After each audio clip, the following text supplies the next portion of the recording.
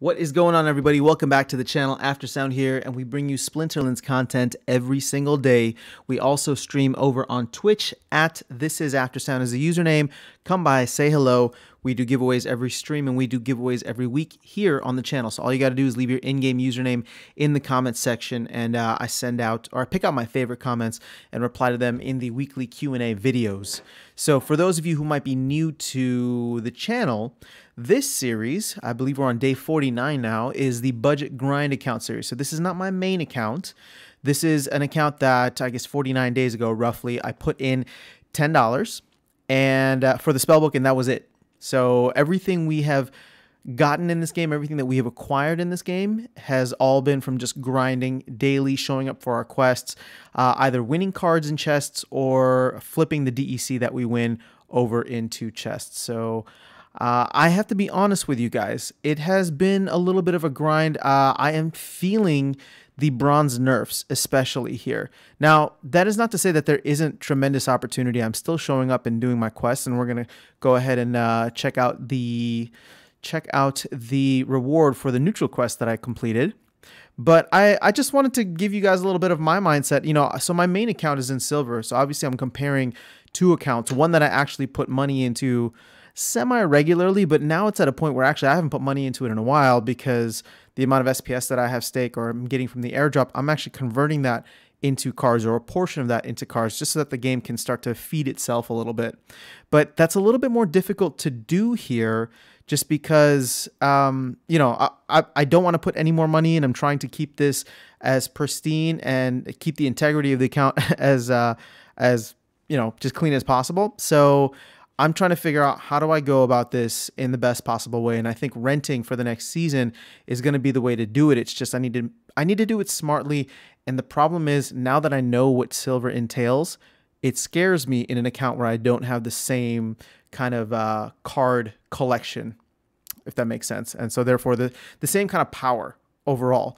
Uh, strategies will remain the same, but you know even you know what's funny is that in silver on my main account, uh, I'm playing with primarily level one cards. I only have one leveled up summoner, and uh, you know there's very limited times that I can use him. It's Kretch, which is you know dragon, and the interesting thing is that I I can go up against other people and my strategy can be sound, and I just get overpowered by level three, four, sometimes level five cards. So, you know.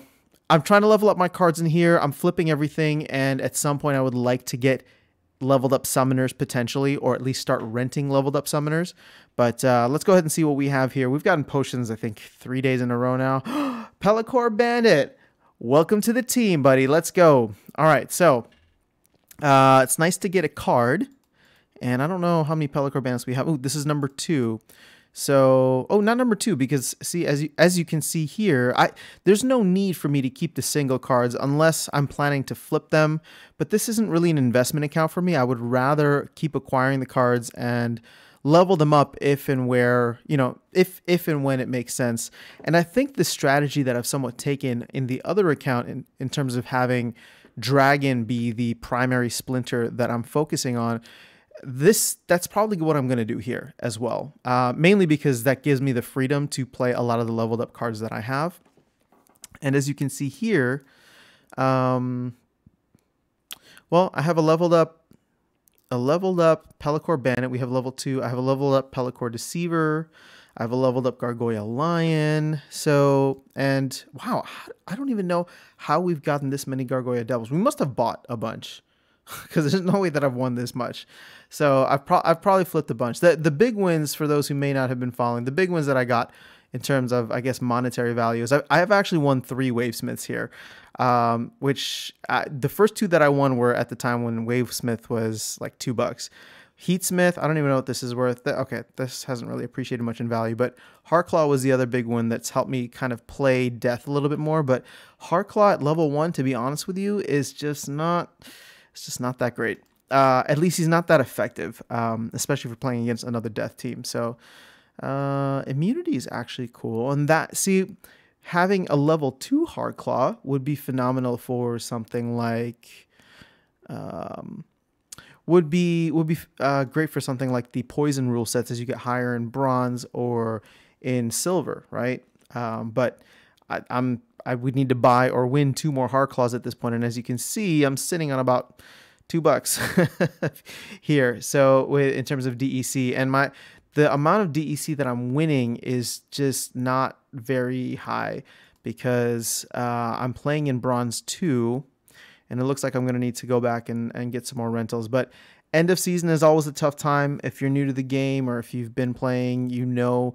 that this is everybody kind of jacks up the prices around this time. So I don't even want to mess with it. I, am happy getting my, what is it, seven chests here. And we are going to just continue flipping this DEC into cards whenever we can. Now, the thing is, there's not much that I can really buy. So part of me, like I said, is is trying to figure out, let's go ahead and rent and see how much power we can get up into bronze one and then in that way uh, we can start to earn you know anywhere from like three to four DEC per win, which would be nice. Because if I'm just showing up, if I'm just showing up for the for the quests, that's actually enough, right? So just to do like the basic math for you guys here, like that's that's enough to still earn something from this. So if I show up for the quests and you know, here, let's let's roll with this for a second. If I show up and do my quests every single day, that's 15 chests, um, 15 chests in like uh, over 15 days. And I'm going to even, well, no, we'll, we'll keep this since I am in bronze two now. So 22 chests every two weeks. Uh, so we'll say 44 chests a month times 12 months, meaning that over the course of a year, I'm going to open up 528 chests. And I believe, what is the percentage of cards that you'd be able to win from that. Would it be 10%? Yeah, I believe it's 10%. So times 0.1 means that I should be winning roughly 52 cards a year. And those 52 cards could be any anything really. So um, obviously commons are going to be the most common, pun intended, or whatever the word I'm supposed to use there is. But uh, 52 cards is not a small amount. So again, for doing the bare minimum, just for doing the bare minimum, the statistics are still there. And here's the crazy thing, right? So people who are saying that you it, that bronze has been completely nerfed, it's not worth it to play this game anymore. One thing that I do want to call out is the fact that uh, if you are in bronze three, meaning you don't have the power, but you just play with a starter deck and and do your quests every day, you still get your daily quest chests as well as five loot chests at the end of the season. So it's actually just slightly less. If we do instead of 22 every two every two weeks, it's going to be 20. So therefore, 40 per month. All right, hold up. 40 per month times 12 is going to be 480. Yeah, so you're still going to win 48 cards per year. Now, I, I guess that's what I'm trying to say, right? I know, I know it sucks because people were earning more before, but the system was also broken and exploited. The thing is, if you come in with just ten dollars at the end of the year, you're going to win 48 cards, right? Statistically, you might win some, you might win more, you might win, less. But again, if we're just doing some math here, and I this is this video kind of got off the rails, so thanks for sticking with me. um, if if we just do some basic math and say, okay, we're going to win 48 cards per year, oh, where's my calculator? 48 cards per year times what is the cheapest? If they were all literally the cheapest ones, Venari Heatsmith times so 0.18, so it's roughly 20%. You're gonna make, I mean, yeah, you're gonna make eight dollars and sixty-four cents every single uh, over the course of a year. So you would make back almost your investment after one year.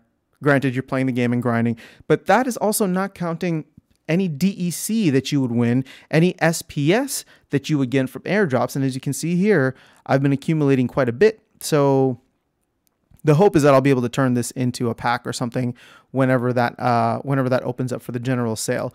Or if the pack is just not really enticing for me, then maybe this is something where I just flip this SPS uh, into credits and buy a card, right? I'll just let this build up over time.